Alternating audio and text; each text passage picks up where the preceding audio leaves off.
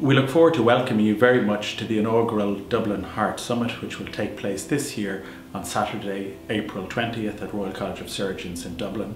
Uh, we have an excellent national and international faculty, including the incoming president of the European Society of Cardiology, who will deliver a keynote lecture.